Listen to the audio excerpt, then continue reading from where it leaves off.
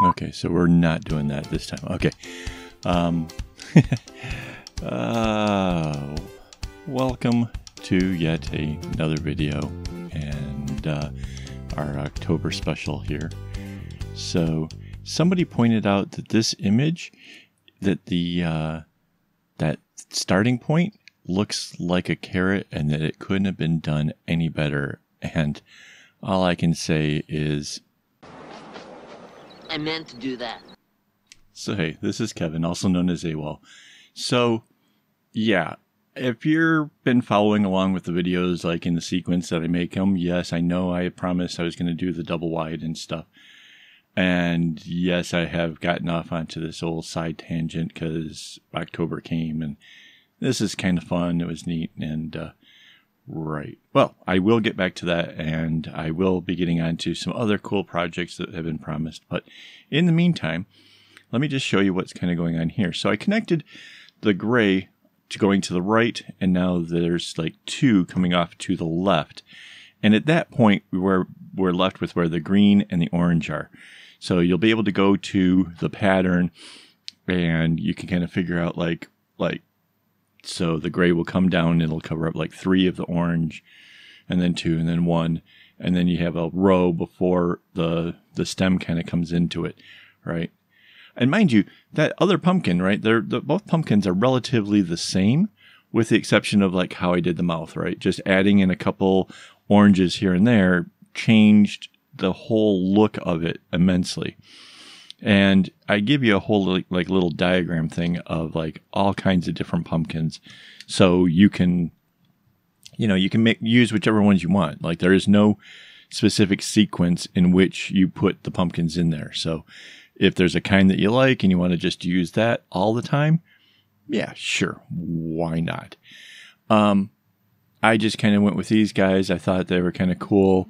The one that I'm making now is totally cool. And thanks, Mr. Motorcycle, for revving up and being part of my video. Jeez. Anyways, um, my timing for like doing these videos, I've been trying like trying to work around all the construction and everything else that's going on. So, yeah, I don't know. It's sort of a pain. Um, yes, this is all sped up extremely um, fast. Um, the reason being, again, this is one of those things where it probably took me a good hour or more. So it would have been a really daunting video. And I don't think either of us wants that. So, um, and you can see here how I've kind of, I had to stop that one raw. I should have done the gray one first. Um, you can see how I'm trying to do long stretches of knots in a row. Um, I just saw somebody over on Facebook showing off a pattern that they were trying to do something kind of spooky for the holidays. But because it was um, kind of this sort of style, they were trying to keep the rows sort of straight across as opposed to, and when I say straight across, I mean like if you took this whole thing kind of diagonally down and coming down with it, which has got to be the like the hardest way of doing things, I swear. Um, and kudos to her for you know having mapped it and figured out. And basically, okay, imagine if you had my graph paper, and imagine you took a ruler straight across it and coming down. That's the way she was working it, and was wondering why it looked really sloppy. Well, that this is why. This is this is part of the trick right here. Do straight long rows with your knots. Don't do one knot and then go over to the right and do a knot, and it doesn't work out as well. It's I swear by this. All right. And obviously you can see that mine's a little skewed. And I kind of let that happen um, because um, I kind of don't want my stuff to look like it was done by a machine.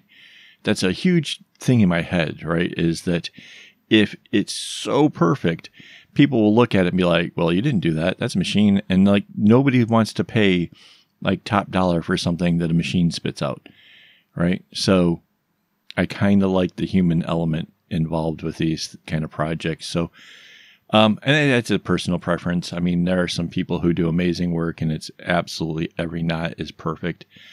Um, and if that's you and you're, you know, got that OCD thing going for you, um, kudos. You know, I'm not going to knock you for that. That that's cool.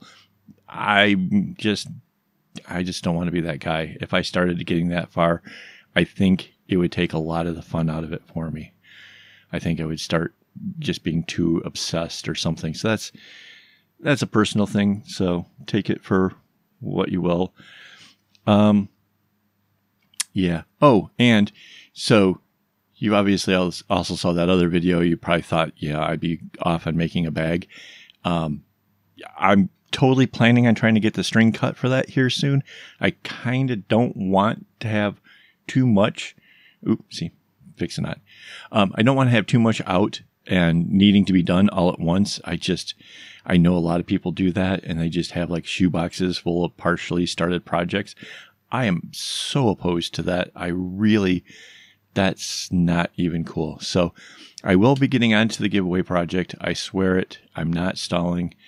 It's just, there's so much that, you know, to be done. And I want, I want to just clear the slate completely before I do that. Um, and kind of looking at this project here, I think we're going to end up kind of cutting this one a little early as opposed to going ahead and getting the, the tube portion of this joined together.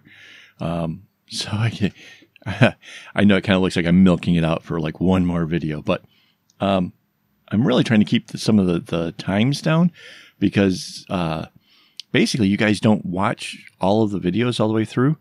And uh, YouTube kind of looks at that when they're they're doing their whole, you know, like analyzing like how awesome my channel is or whatever. And if like nobody's like watching the full video, it kind of counts as like a strike against me.